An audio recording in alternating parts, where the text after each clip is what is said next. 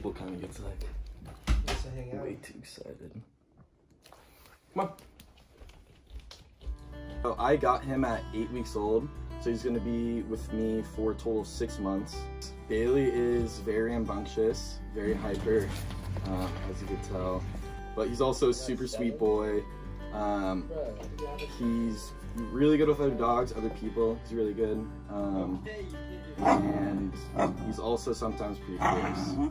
Yeah, so day in the life, usually he wakes me up by jumping on my bed, um, and then I play with him for a little bit. I take him out, uh, and then I feed him, and then usually I try to get a couple hours of like schoolwork done. Good boy. Um, and then I'll take him to the park, maybe a walk, something like that, tire him out. Um, and then usually in the evening, we'll take him out again. And then uh, usually the rest of the night he's pretty chill.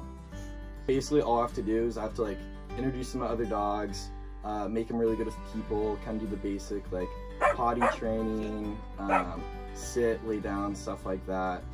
Uh, and then once I'm done with him after the six months, he's gonna go on to a different level and he's gonna be with them for I believe around another six months, uh, and they're gonna do more intense training depending on uh, what his future owner needs, what kind of disability they have. So I was originally his like main kind of like caretaker, I guess, um, but Soham's my direct roommate, so he's he's with me a lot. Um, but then other guys in the house always love coming up, take him on walks, take him to the beach.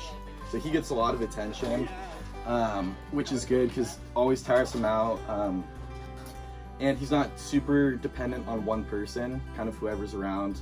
Uh, he likes being with and playing with them. So it's been really good having a lot of guys living here and a lot of different kind of um, opportunities to, to hang out with, with different people. I love Bailey so much. oh, look pretty for the camera.